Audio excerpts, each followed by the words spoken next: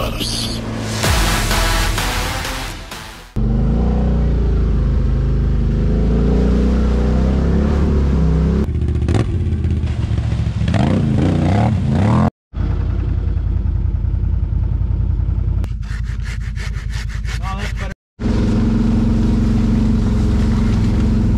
I think we went the wrong way.